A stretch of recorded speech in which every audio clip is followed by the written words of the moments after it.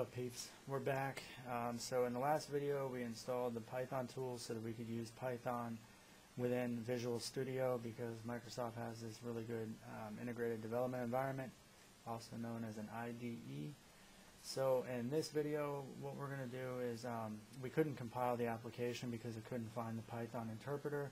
So depending on what version of Python you have installed, uh, you just need to go over to debug and then um, click on options and settings. And then when you look down at um, the left hand column here you're going to see uh, there is uh, okay down here at Python tools you click on that and then just go to your interpreter options.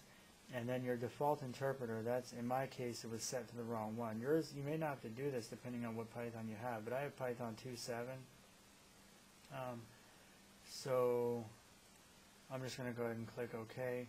Now, watch what happens when you click uh, play. Like it ran the program and immediately killed it. So uh, to prevent that from closing, um, you're going to want to go to uh, Tools and then Options. And then what we're going to do is uh, go back to the Python tools. We're going to uh, go to Debug. Um,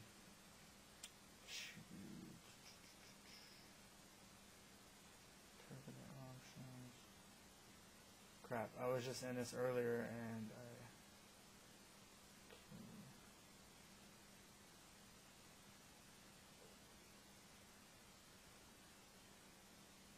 Oh, okay, here it is, sorry.